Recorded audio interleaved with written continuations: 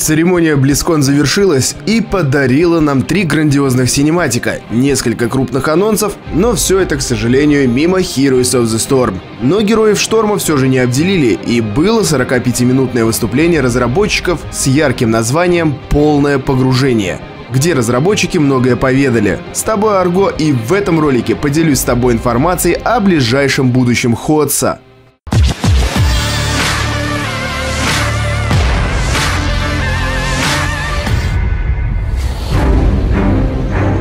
Несмотря на то, что тема ролика Heroes of the Storm, не могу не поделиться своими впечатлениями от анонсов над церемонией открытия. Синематик Диабло по-настоящему внушает ужас. Сильный, мощный, кровавый, очень крутой трейлер. Демонстрация геймплея вызвала смешные эмоции. Думал, в этой части сделают возможность переключения камеры от классической до вида от третьего лица. Но, увы, Звуковые эффекты порадовали, а ощущение того, как персонажи валили монстров, прекрасно передавалось. Увиденное на демонстрации Diablo 4 вызвало интерес и желание поиграть в предыдущей части.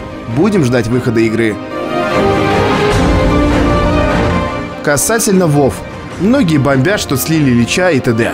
А World of Warcraft я и не играю, и с точки зрения стороннего наблюдателя от синематика я кайфанул. То, что подтвердился слив Болвара, никак не испортило впечатление от него. А вот то, что Сильвана сломала шлем короля Лича, вызвало бурю эмоций. Это было действительно круто. Насчет того, что слили Болвары и т.д., ну come on, он положительный герой, который взял на себя ответственность сдерживать плеть таким образом. Что он должен был сделать? Стать очередным походом в ЦЛК? Не знаю. Тут все спорно, к тому же никуда его не слили. Она же его не убила, а лишь каску сняла. Надеюсь, новый аддон понравится Воверам, и они покорят эту ужасную утробу, о которой нам рассказывали на панели Вовки. А я буду наблюдать за развитием сюжета, ведь мне очень интересно, к чему стремится Сильвана и что у нее в голове. Ну и с нетерпением буду ждать шикарных синематиков по этой игре. В предыдущем ролике мы гадали о том, что покажет Ходс на Близконе, и многие предсказывали авточес в Ходсе. Да и на Reddit были подобные теории. Но, ребят, вы чуть промазали, так как авточес завезли в картонке. На само приключение в основной аддон мне глубоко пофиг, а вот авточес я с удовольствием поюзаю, так как в одну игру такого жанра в свободное время я поигрываю. Overwatch 2 или Overwatch 2, как нам сказала переводчица, роли кайф. Но вот от PvE контента ждал большего. Вообще от второй части ждал гораздо большего. Графоний остался тот же. По мне, как-то это не вторая часть, а лишь крупное дополнение. Как э, выяснилось, так оно и есть. И первая и вторая часть будут использовать один клиент. В общем, не заинтриговал. А что на это скажут игроки Overwatch? Ребят, пишите в комментариях свои впечатления от столь долгожданного продолжения. Ну что ж, Heroes of the Storm, наш любимый Ходс. Похоже, из-за своего статуса классической игры потерял прописку на главной сцене. Очень расстроился, что не было никакого эпичного синематика, приуроченного к выходу Смертокрыла. Ходс был представлен лишь на закрытой панели для обладателей виртуального билета, где в течение 45 минут разработчики рассказывали о работе над новым героем, представили следующий ивент, показали новинки, поделились планами на ближайшее будущее и отвечали на вопросы присутствующих. Начнем по порядку. Бесплатная ротация всех героев продлится до 11 ноября. Поэтому не теряй времени и попробуй тех героев, которых ты давно хотел проверить в бою. Поведали и про то, как долго нам ждать Смертокрыла. Полторы недели и можно будет забирать. Показали его три цветовые схемы и, на мой взгляд, они все топчик. Поделились и тем, что изначально на стадии идеи рассматривали вариант трейта, как у Алекстразы возможность переключения между человеческой и драконьей формой, а его неудержимость на стадии разработки не была постоянной. Его ульт был рожден из синематика к дополнению Катаклизм World of Warcraft, где Смертокрыл сжигает все на своем пути. Разработчики отметили, что эффекты Смертокрыла стали самыми сложными и трудоемкими за всю историю существования проекта. Были задействованы все имеющиеся отделы и ресурсы, благодаря чему мы получаем на выходе столь эпичного героя, за что им отдельное спасибо. И, конечно же, все обладатели виртуального билета получат Смертокрыла абсолютно бесплатно. Следующим ивентом после ограбления Алого казино станет возвращение прошлогоднего новогоднего события «Пора играть в игрушки». Стартует оно 3 декабря. Будет ли что-то фундаментально новое, нам не поведали, но показали шикарный облик на Мефисто, который мне очень понравился, и, возможно, он заставит меня все-таки освоить этого персонажа. Еще показали облик Кахиры, который особых эмоций не вызвал, в отличие от анимации после активации поиска в режиме быстрой игры. Смотрится интересно. В игре появится паровозик, который смог. И ивент игрушки подарит два новых транспортных средства – паровозик и вагончик, которые позволят игрокам объединиться в полноценный состав.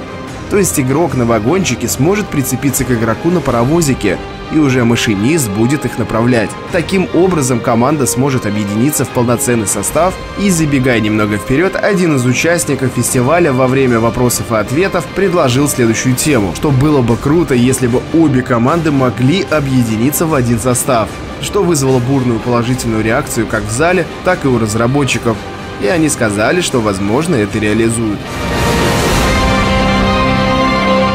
Далее Nexus ждут аномалии, которые будут появляться постепенно в игре, изменяя привычные аспекты геймплея.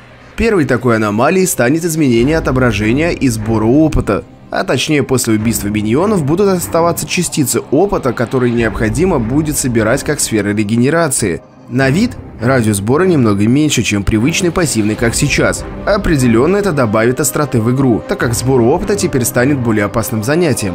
Посмотрим, как это повлияет на матчи. Главное, что разработчики внимательно будут следить за такими изменениями, моментально реагировать на реакцию сообщества. То есть, если это вызовет негатив у нас, разработчики не будут нам навязывать эту механику, и опыт от миньонов станет вновь привычным. Еще одно важное изменение для мастеров и элиты рейтингового режима. Теперь игрок рангом мастер и выше не сможет встать в очередь Лиги Нексуса, если у него в группе есть товарищи из Алмаза и ниже. То есть мастерам и грандмастерам по-прежнему могут подбирать игроков из Алмаза, но вот в одной группе они с такими пользователями в Лигу не поиграют. Кольца мастерства Разработчики внимательно следили за реакцией этого нововведения на Reddit и по многочисленным просьбам развили эту новинку еще на пару уровней. Таким образом, кольца мастерства доступны будут на 15, 25, 50 и 100 уровнях. Для последнего сделали интересный индикатор, который будет отображать текущий уровень персонажа. Ну что, успел уже себе купить колечко? Порадовали информацией о разработке функции, которая будет требовать подтверждения о готовности к игре. А если матч уже подобран, но произошла какая-то ошибка или не все подтвердили свою готовность, то игроки будут автоматически возвращены в очередь поиска. Далее уже следовали вопросы от посетителей. Будет ли возрожден киберспорт в Heroes of the Storm? Вся команда Ходса очень сильно любила ХГЦ и скучает по нему. Но планов на восстановление официальной киберспортивной сцены, к сожалению, на данный момент нет. Вернут ли призрачные копии? Да, над ними работают. Пока что разработчики не могут дать информацию о сроках и деталях реворка карты, но ее определенно вернут, как только она будет полностью готова. Был задан вопрос на тему, как разработчики определяют, кого нужно переработать, на что был дан очевидный ответ – основываясь на статистике и популярности тех или иных талантов, но в ответе на этот вопрос прозвучало еще кое-что интересное. Над реворком Тасадара работают прямо сейчас. Он будет убийцей-прокастером дальнего боя. И также они отметили, что сейчас команда Ходса занята очень большим количеством реворков, больше, чем когда-либо. Как теперь Абатур будет собирать опыт с новой механикой опыта – Будут определенные исключения, чтобы герои не теряли возможности глобального сбора опыта, что относится и к симбионту Абатура, и Лаве Рагнароса. Что разработчики предпринимают для повышения динамики игры, ведь порой матчи затягиваются и утомляют. В основном идут изменения таймингов появления событий на карте. И в случае, если на какой-то из карт продолжительность матчей затягивается, там стараются заставить команды сражаться чаще. Команда Ходса хочет, чтобы матч занимал в среднем 18-20 минут, независимо от карты. В общем, хуже не стало, и это главное. Разработчики продолжают активно поддерживать игру, радовать нас новыми событиями, механиками, реворками и новыми героями. Они также не перестают следить за форумами и предложениями от игроков. А я, в свою очередь, продолжу радовать тебя качественным контентом и душевными стримами по Heroes of the Storm. Так что обязательно ставь лайк этому видео, оставляй несколько комментариев и подписывайся на канал, если ты еще не с нами. С тобой был Арго, и до встречи в Нексусе!